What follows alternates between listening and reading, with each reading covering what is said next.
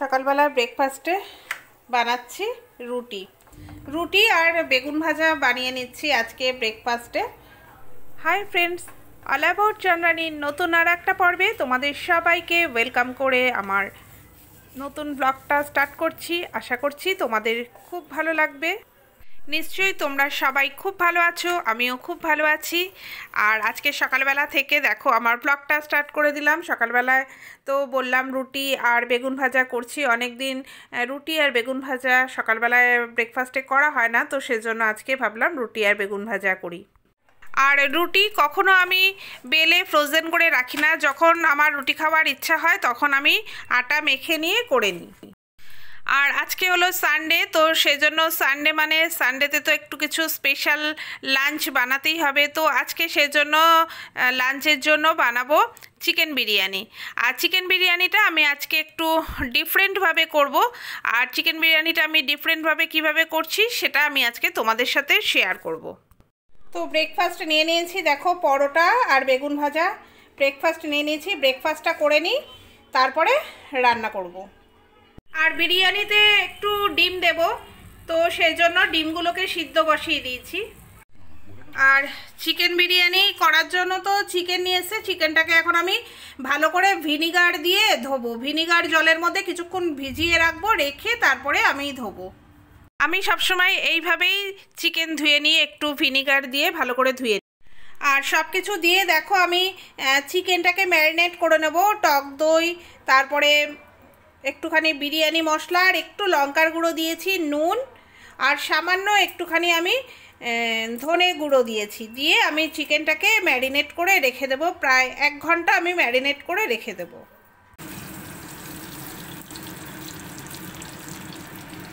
তো ডিমগুলোকে আমি একটু পেঁয়াজ দিয়ে একটুখানি নাড়িয়ে নেব, কারণ বিরিয়ানির মধ্যে দেব বলে আমি ডিমগুলো সিদ্ধ করেছিলাম, তো ওরা বলছে, না, একটু পেঁয়াজ দিয়ে করে দিতে। সেই জন্য পেঁয়াজ দিয়ে করে দিচ্ছি। বিরিয়ানির মধ্যে তো সিদ্ধ ডিম দেয়, কিন্তু যদি এইভাবে একটু পেঁয়াজ দিয়ে ডিমটাকে করে নিয়ে তারপরে বিরিয়ানির মধ্যে দেয়া যায়, তাহলে কিন্তু খেতে অনেকটা টেস্ট হয়। তো আমি আজকে যেহেতু একটু ডিফারেন্টভাবে করব, তো সেই জন্য একটুখানি আমি ডিমটা এরমভাবে পেঁয়াজের সাথে ফ্রাই করে দিচ্ছি। পেঁয়াজটা ভেজে নিয়েছি, আর এর মধ্যে সামান্য শুধু আমি একটুখানি নুন দিয়েছি আর একটুখানি জাস্ট লঙ্কার গুঁড়ো দিয়েছি। এই দিয়ে ডিমটাকে আমি বুনা করে নিচ্ছি। আর বিরিয়ানিটার জন্য আমি ঘি দিয়ে দিচ্ছি। আমি ঘি দিয়ে বানাবো আর সামান্য একটুখানি সাদা তেল আমি দিয়ে দেব। আর এখন চিকেনগুলো দিয়ে ভালো করে আমি পেঁয়াজ রসুনের সাথে কষিয়ে নেব। বিরিয়ানি রান্না করাটা আমি ডিটেলে তোমাদের সাথে শেয়ার করছি না জাস্ট একটু একটু করে আমি দেখিয়ে দিচ্ছি। কারণ বিরিয়ানি রান্না করা এর আগে আমার চ্যানেলে আছে শেয়ার করা। আর সেই জন্য আমি আর শেয়ার করছি না। জাস্ট আমি একটু করে দেখিয়ে দিচ্ছি। আর আজকে বেশ ভালোই ঠান্ডা পড়েছে। আর এরকম বেশ ঠান্ডার দিনে বিরিয়ানি খেতে কিন্তু খুব ভালোই লাগে। চিকেনটা মোটামুটি আমি কষিয়ে নিচ্ছি। আর এখন আমি একটু তন্দুরি মশলা দিয়ে দিচ্ছি। তন্দুরি মশলাটা দিচ্ছি এই কারণে যে চিকেন বিরিয়ানিটার মধ্যে একটু তন্দুরি গন্ধটা আসবে, সেই জন্য আমি আজকে দিয়ে দিচ্ছি। এটা আমি আমার পছন্দ মতন ইউজ করছি। এটা অপশনাল সব রকমই ট্রাই করে দেখতে হয়। তো সেই জন্য আমি একটুখানি তন্দুরি মশলা অল্প করে দিয়ে দিলাম। আর একটু বিরিয়ানি মশলাও আমি দিয়ে দিচ্ছি। সব কিছু দিয়ে আমি এবারে মিক্সড করে দেব।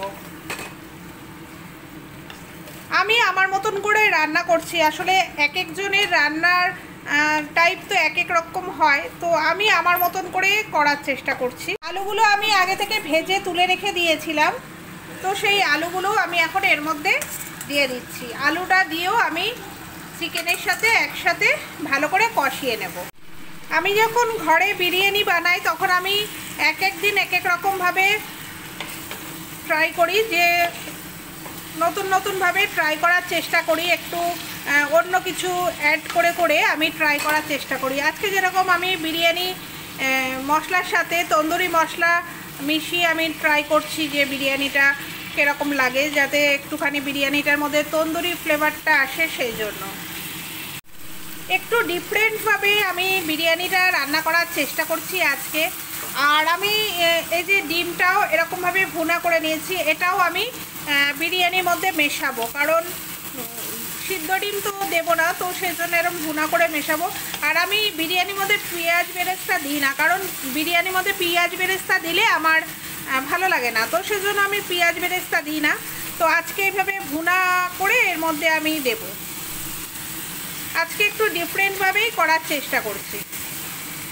চিকেনটা কষানো হয়ে গেছে, আর এবারে আমি একটু সামান্য জল দেব চিকেনটা সিদ্ধ হওয়ার জন্য। বিরিয়ানির জন্য চিকেনটা একদম রেডি বিরিয়ানিটাকে এবার বানিয়ে নেব। তো সেজন্য দেখো, ভাত দিয়ে দিয়েছি, দিয়ে এর মধ্যে আমি একটু বিরিয়ানি মশলা দিয়ে দিচ্ছি। এবার তো বিরিয়ানির প্রসেসটা করছি, আর এই প্রসেসটা তো আমরা সবাই জানি, আর সেজন্য আমি আর ডিটেলে দেখাচ্ছি না। ভাতটা দিয়ে তার মধ্যে আমি একটুখানি ঘি দিয়েছি, ঘি দিয়ে তারপরে চিকেনগুলোকে সাজিয়ে দিচ্ছি এই প্রসেসটা তো আমরা জানি।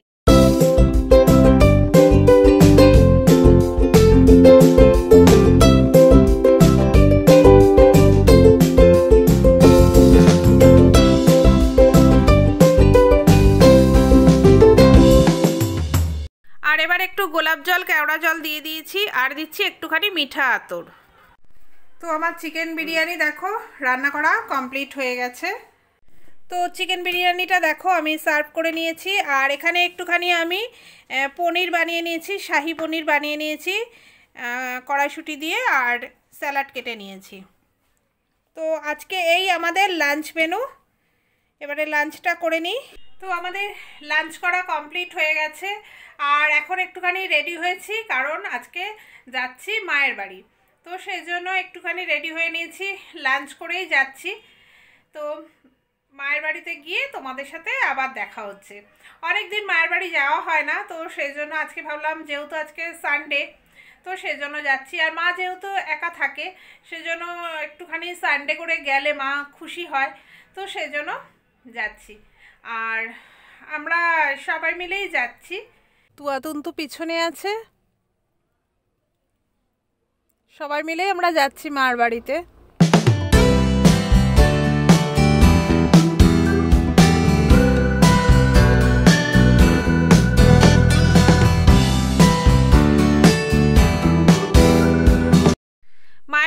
চলে এসেছি আর আমার বঞ্জি, ওকে তো তোমরা দেখেছ আমার ভিডিওতে, ও বানাচ্ছে আলু কাবলি।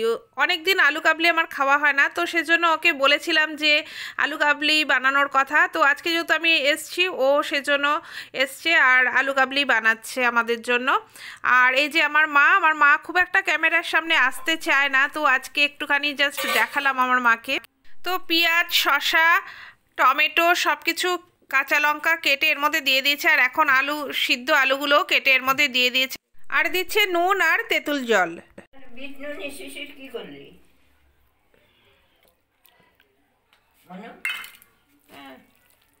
কি মা? বিট শিশির ওখানে রেখেছি। আর এখন দিচ্ছে ভাজা মশলার গুঁড়ো। এই যে আমাদের আলু কাবলি রেডি আর এবারে খেয়ে নিই আমার মা খায় না, আমরা এই কজনই খাব। আর আমার মা সম্পূর্ণ নিরামিষ খায়ের মধ্যে যেহেতু পেঁয়াজ দেওয়া আছে, সেজন্য আমার মা খাবে না, আমরা এই কজনই খাব।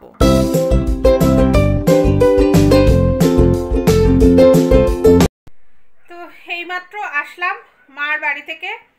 আর রাত্রেবেলায় ভাবছি আর কিছু খাব না, কারণ ওখানে তো ওই সব খাওয়া হয়েছে, তো সেই জন্য ভাবছি আর রাত্রেবেলা কিছু খাব না, পেটটা খুবই ভর্তি হয়ে রয়েছে।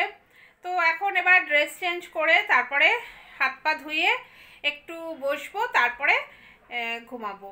আর তুয়াতুন্তু যদি খেতে চায়, ওদেরকে একটুখানি ম্যাগি করে দেবো সবজি দিয়ে ম্যাগি করে দেবো, ওরা খেয়ে নেবে।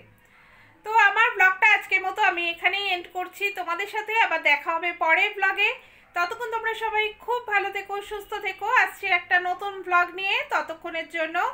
টাটা!